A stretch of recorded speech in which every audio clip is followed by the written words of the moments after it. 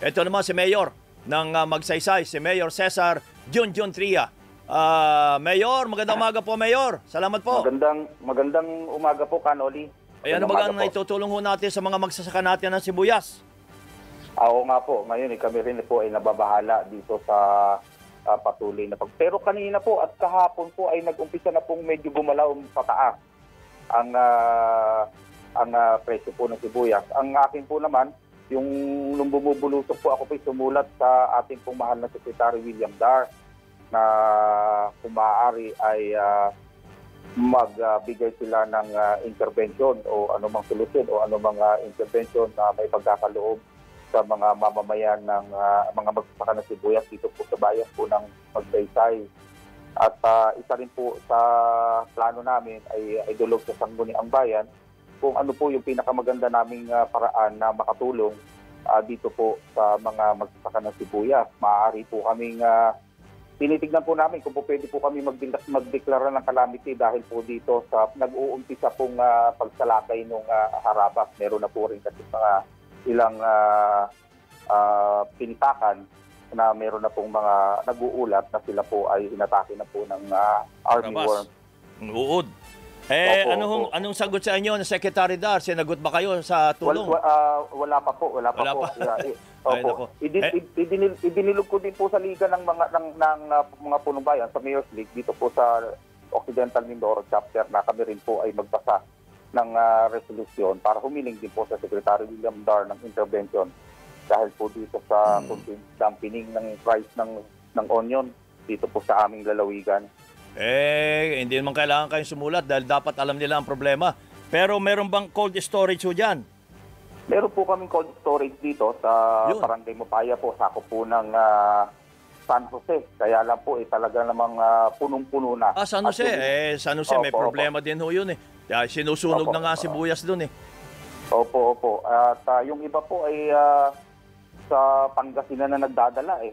Yung iba pong malalaking ah, farmer namin, malalaking farmer ng uh, Cebu. eh. Opo, Oo. yung iba pong may mga puhunan sa Pangasinan na puhunan. layo na nun ah. Ang layo na po, pero talaga pong sa dami po kasi nilang kanilang sibuyas, eh, kinakailangan nilang mag-storage. O ay may nabibili, na, doon nila ini-storage sa Pangasinan o doon nila Opo, ibinebenta? Ah, i-storage lang po 'yun. Bago Ah, storage lang. 'yun pagka may shortage na tayo ng onion. Ah, okay. Ay, pero yun yung may Hmm. mga puhunan. Yan po yung may mga puhunan, mostly po yung mga buyers 'yan. Ayos mga na yun. traders. Opo, Ah, opo. okay. So, so far ngayon wala pa akong tulong nang gagaling sa national government. Wala pa po, wala pa po intervention. Sa local ng government, wala pa rin no, wala pang approval ang Ah, sanggunian. wala pa wala pa po Ah, pinag-aaralan po namin kung papa hindi naman po kaagad-agad kami makapag ah, alam naman niyo po yun Tanoli. Opo. Hindi naman po agad-agad tayo makakapaglabas unless uh, authorized ng uh, sangguniang bayan. Pinag-aaralan po namin kung paano po namin gagawin. Ah, ang municipality of San Jose po, sa pagkakaalam ko, nag-declare na sila ng ah, state of calamity. Eh, dahil Opo, eh, papalo po namin Opo. kasi nagbalak nga si Mayor na magdeklara ng ah, state of ah, emergency Opo, dahil nga opo, sa opo. nabubulok at sinusunog na lamang ang sibuyas. Opo, yun din po ang ah, yun din po ang ah, pinaplano po dahil doon kami nakakakita ng ah, posible namin pagkunan ng ayuda kahit papaano dito po sa mga kababayan nating manananim ng sibuyas. Okay. Eh, andali, ma maibaho ako. Eh, diyan Opo. bagay tapos na kayo sa bakuna. Ay ano pa po kami eh, alert level 2. Ah, Oh. Nasa 70 pa lang po kami. Talagang ah, ah, patuloy po. Nag-house to house na po kami para po kami naman eh, umangat oo. na yung rate namin. Oh, At um, marami pa rin po tayo sa mga kababayan na talagang ah, medyo hesitant pagpabakuna eh. hanggang ngayon, anong katwiran nila? Eh, yung pong, alam niyo naman po, eh, pagka nakabalitang may namatay, eh, Naka- binibintang sa bakuna eh. Oh, Kaya naniniwala. po talagang po. Pero pinagsisikapan po ng ating mga vaccinator, ng ating pong rural health unit. Nag-house to house po, araw-araw. sana. Ayun, Ah, tama, Medyo tama. maganda po naman at ah, ma- marami rin naman po sila nababakunahan. Palagay ko yun ang pinaka-epektibo, mag-house to house tayo. Ano? Opo, opo, nag-house to house na po. Pero may available Opo. naman bakuna. Meron po, may available naman Ano po. itong ina-house to house ninyo? Ah, yun lang first at second dose o ah, ano na? Ah, lahat po. Ah, kung kung ah, first dose ka, babalikan po yun for ah, second dose na. Boss, ay, Sa- hindi, sa- wala pa kayo sa booster. An, tapos na po. Meron po kaming ah, ano na, booster na rin. Kapag booster na kayo sa iba. Opo, opo, opo, opo. Ay, okay. Sige, Mayor, maraming salamat ha. Maraming maraming salamat po, Kanodi. kailan kayo mag-dedeklara ng state of calamity? Ah, magtapatawag po kami ng ah, meeting dito po Sa sa, mga department heads and the Sangguniang Bayan Ah, okay. para po sa mga recommendations po. Ah, okay. Maraming salamat po, Mayor. Good morning. Maraming salamat po, Kanoli. Good morning po. si Mayor uh, Cesar Tria, Magsaysay, Occidental, Mindoro. Si Mayor Angelina Tria, uy, uh, Mamburaw naman, Occidental, uh, Mindoro. Mayor Tria, magandang umaga po. Nakamute po kayo, Mayor, nakamute. Wala akong sound. Mayor, po. yun. Good morning, kabayan. Yun. Mag magpinsan ba kayo, magkapatid? Pinsan po. Magpinsan, okay. Pinsan po. Ay, eh, sabi ho ni...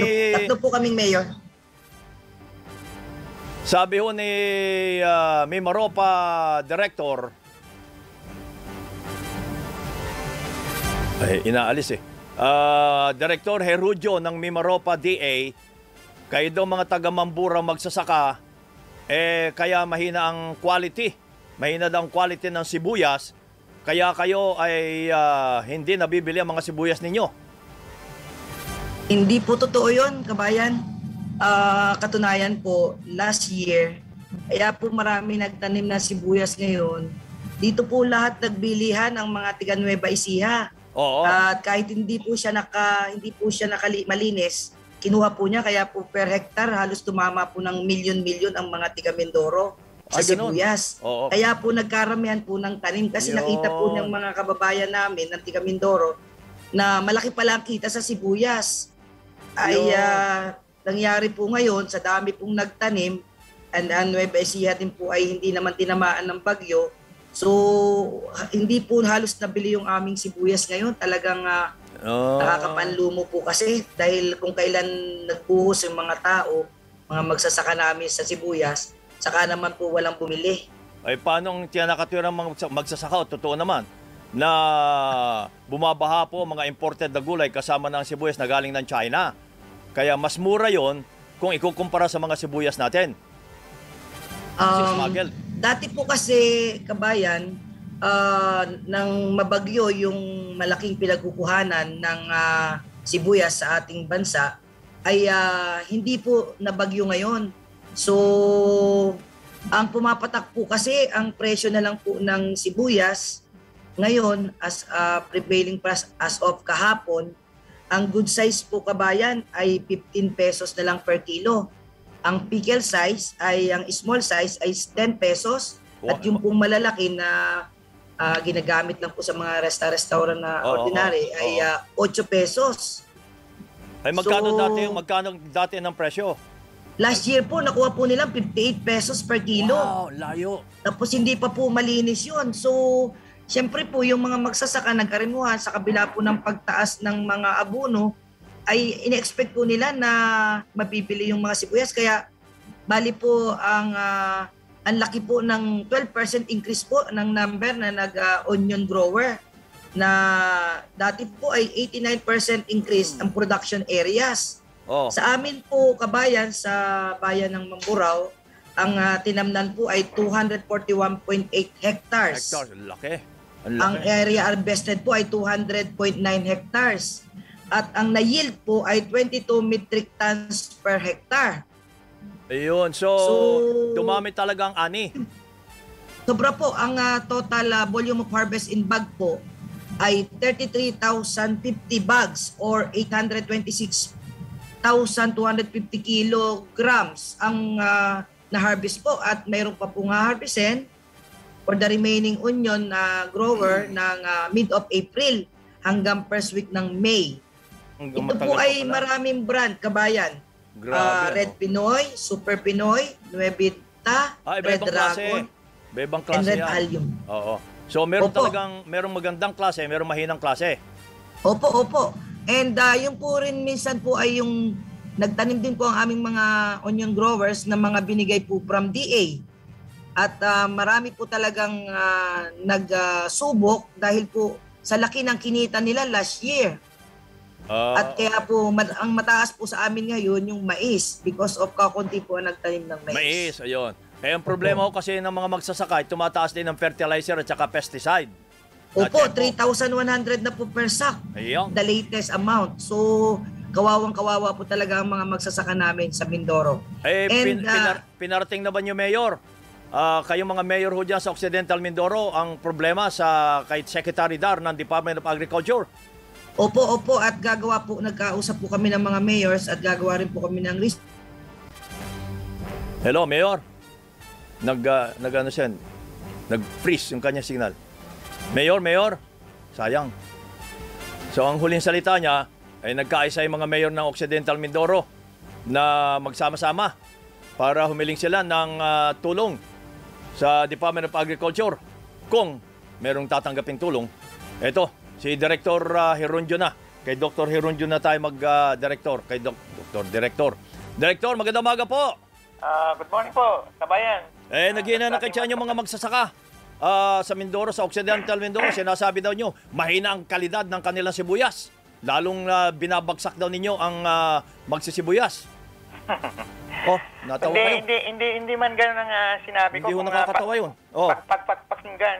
Oh. Ang, ganito kasi yung ah, ah, sitwasyon eh. Ah, Siyempre, bumagsak yung ah, presyo ng sibuyas natin from ah, ah, mababa kaysa doon sa cost of production ng 18 pesos to nagiging 12 to 15 pesos per kilo na lang. At ah, talagang lugi ang magsaka. So, ang dahilan nitong overproduction ay nagdoble yung uh, tinatiman nat tinataniman ng ating mga magsaka itong taong ito compared to last year it's only about 3,005 ngayon ay 7,200 eh. So, ah, ito yung nangyari dahil mahal yung ah, presyo ng sibuyas na nakaraan, di bumaba sa 42 pesos per kilo. So, ang resulta, yung ating local storage dyan ay hindi ma-accommodate yung malaking surplus. Kaya yung ibang mga local traders natin ay hindi na nakapamili. Eh, maliit lang naman daw yung mga stories niyo. May mga stories daw doon. Wala pang Oo, kuryente. oo nga. Ta- tama yan. Eh, tama Oo, yan oo. na maliit lang yung cold storage. Di meron na- nga, pero walang kuryente. Ay, kasama yun sa mga mga issues na ano, dahil ah, binigyan na namin- out pa. Oo, nag-brown out pa. Tapos eh, yung compounding the problem, kasi kabayan, ito ganito eh. Yung kasi mga new entrants, dahil nahili lang, ay hindi masyado pang magaling na magsibuyas doon sa production, harvesting, at saka yung post-harvest handling. At tapos, sa tinamaan pa ng sakit ngayon na ah, yung ah, Oo. army worm, army worm, O yung ah, harabas. o harabas. Kaya mayroon talagang poor quality harvest in some areas. Yung binanggit ko doon sa aking ano noon, yung sa Mambura. Mambura lang sinasabi ko kasi ito yung sinabi sa amin ng ating ah, cooperative, yung ating Mindoro Progressive Cooperative. Kasi tinatanong ko sila kung bakit hindi sila makapamili. Sabi nila, yun nga daw, ah, tinamaan ng, ng peste at sakit kaya mahina yung quality. Yun yung sinabi ko. Pero hindi ko sinabi na buong Mindoro ang pangit ang quality. Yun, yun, yun yung ah, yeah, hindi maayos to na Eh, Hindi, pagka- siyempre, ano, pag sinabi niyong Mamburao, ay kasama ng ibang bayan sa Ay, hindi, Occidental hindi, Mindoro. Hindi, hindi, ganun. Very specific naman yun. Kasi mga bago yung, eh, mga bago yung nagtatanim ng mampuraw eh. Ah, halos 89% ng ah, mga bagong ano. Hindi ah. Eh, iba dun eh, matagal na magsasaka ng sibuyas, sabi nila sa akin eh. Sa Hindi, ang, ang, ang mga ang mga mga bago lang kabayan, ang mga mga traditional na ano yan, growers ay yung magsaysay sa Jose at Kapalawan. Oh, Yun lang, yun lang. oho. Then of course uh, karamihan din dito eh sa ating mga mga bagong growers ay hindi miyembro ng kooperatiba. Kaya Hindi nga ho, pero hindi- hindi ano bang, anong ginagawa naman ninyong hakbang para tulungan silang makapagtayo ng kooperatiba? Napakarami daw ng requirements, sabi na magsasaka. Actually, ang trabaho na yan, kabayan, pagbasahin natin yung ating local government code, alam nyo man yun, Oh, eh yung trabaho ito ay nasa, nasa local government, di- hindi na yun sa amin sa kagawaran. ay hindi nyo, lang. ay, hindi nyo tulungan. Tinutulungan namin sila. In fact, in-encourage namin sila na ma- magawa at lahat ipalista. So ito kasi, biglaan kasi itong pumasok itong 40% eh. So, ah, maraming hindi nakatake advantage at saka doon sa mga benepisyo ng mga intervention sa support services natin sa Eh kagawaran. dapat yung mga intervention no, ay, ay, sorry ah, yung mga intervention ninyo ay iniisip na kagad nyo. Katulad yung mga brownout brownout na yan. Katulad yung mga peste na alam naman yung ah, aabutin din ng mga magsasakayan kahit ano pa ang gawin. Ah, tinuturo natin yan. In fact, ah, ito yung mga interventions natin na nagbigay tayo ng, ah, ng ah, libreng ah, binhi na 1,500 cans, equivalent to 600 kilos. So, mayroon din tayong mga additional panasis na binigay dito. In fact, hindi lang sa kanila, pati sa, sa Bulalakaw.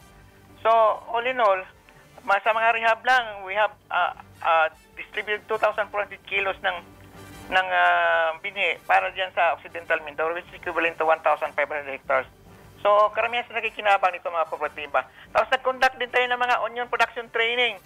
So, hindi lang yan ano, on, on ah, production and Eh, harvesting. wala and na. Eh, nabub- nabubulok Oh. na, tinatapon ng mga sibuyas. Ano pang training ang kailangan nyo? I- ito yung mga interventions na ginawa natin itong ngaraan. Oo nga, pero Oh, dapat ito tunoon pa. interventions.